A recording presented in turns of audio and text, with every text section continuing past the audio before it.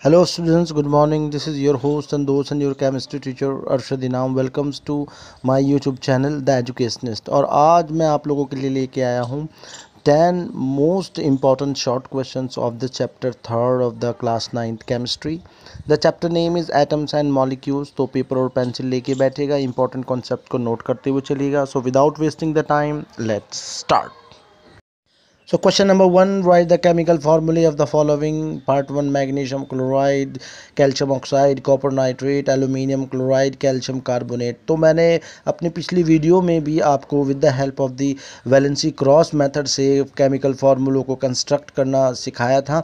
तो यहाँ पे भी मैंने वही दिए हुए हैं तो आप इनको नोट कर लें।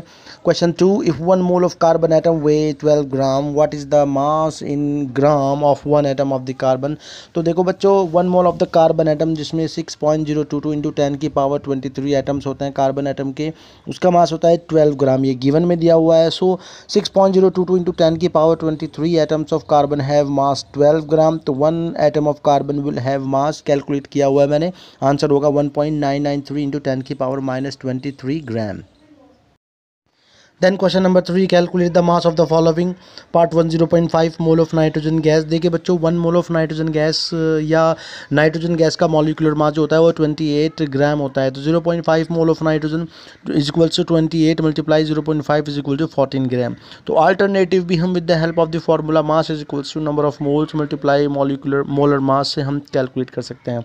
Then part second one mole of nitrogen molecule is equal to six point zero two two into ten की power twenty three molecule molar mass twenty eight gram होता है तो यही बच्चों आंसर भी है। अल्टरनेटिव भी हम इसको कैलकुलेट कर सकते हैं with the help of the given formula तो आंसर सेम आएगा।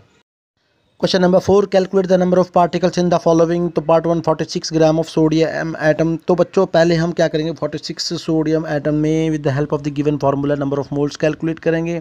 और फिर small N is equals to capital N upon N naught से हम आंसर निकाल लेंगे एटम को कैलकुलेट कर लेंगे। यहाँ पर एन नॉट एवेगेट्रो कॉन्स्टेंट को रिप्रेजेंट करता है। So second part eight gram of oxygen molecule यहाँ पर भी हम सिमिलरली गिवन फार्मूले से नंबर ऑफ़ मोल कैलकुलेट करेंगे और फिर वहाँ पर नंबर ऑफ़ मॉलिक्यूल कैलकुलेट करेंगे। आंसर आएगा one point five one into ten की power twenty three molecules then question number five which has more atom hundred gram of sodium और hundred gram of iron तो बच्चों, बहुत interesting question है। Format same रहेगा question में चीज़ें बदल जाएँगी।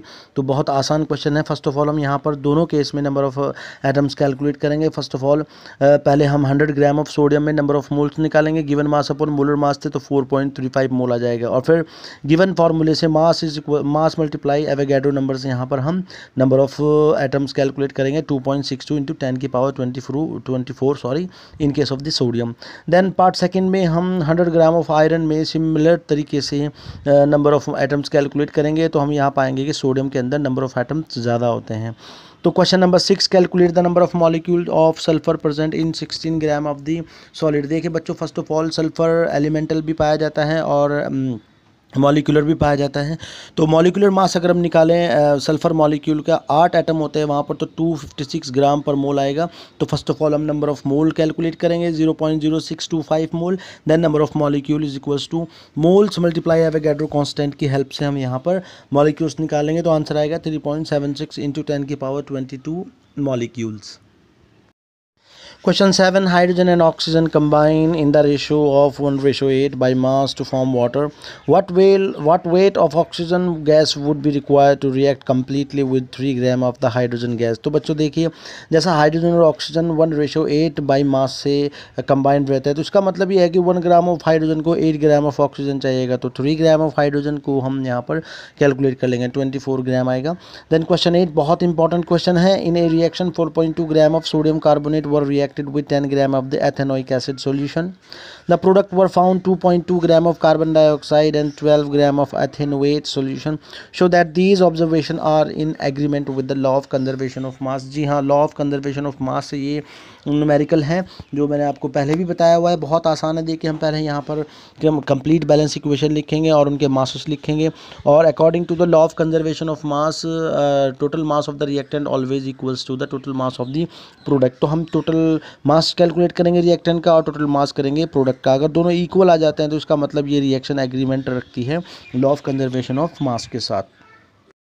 Then question nine calculate the molar mass of the following substances ethyne sulphur molecule nitric acid तो बच्चों मोलर मास ऑफ़ किसी भी सब्सिस्टेंस का निकालने के लिए हम वहाँ पर क्या करेंगे? जितने भी आइटम्स होते हैं, उनके नंबर और उनके एटॉमिक मासेस को कैलकुलेट करके हम निकाल सकते हैं ग्राम पर मोल में, जैसा मैंने यहाँ पर एथाइन एथाइन सल्फ़र मॉलिक्यूल और नाइट्रिक एसिड के केस में किया है। आप इसको अच्छे से नोट कर लीजिए। Then question ten what is difference between an atom and a molecule तो बच्चों एटम सबसे छोटा पार्टिकल होता है किसी भी एलिमेंट का जो फ्री एग्जिस्टेंस में रह भी सकता है और नहीं भी रह सकता, लेकिन मॉलिक्यूल कॉम्बिनेशन होता है दो या दो से ज़्यादा एटम्स का। और वो स्मॉलेस्ट पार्टिकल हो सकता है एटम एलिमेंट का या कंपाउंड का, जो कि इंडिपेंडेंस एग्जिस्ट कर सकता है। तो बच्चों these were the ten most important short question of the chapter atoms and molecules of class ninth chemistry इसी चैप्टर के मैंने पार्ट वन और पार्ट टू भी अपलोड किया हुआ है। उसमें वेरी शॉर्ट और M C Qs question discuss किए हुए हैं। उनका डिस्क्रिप्शन में मैंने लिंक दिया हुआ है। तो आप इनको, ये फोर्टी फाइव क्वेश्चन हो जाते हैं। इन सभी को नोट कर लें। तो इस चैप्टर में इससे बाहर कुछ नहीं आएगा। तो if you found a value in this video तो like this video comment this video share this video and finally subscribe my channel if you have any query तो you can can write me in the um, comment box down uh, downward. So now this is your host and those and your chemistry teacher Arshad Inam signing off. Have a nice day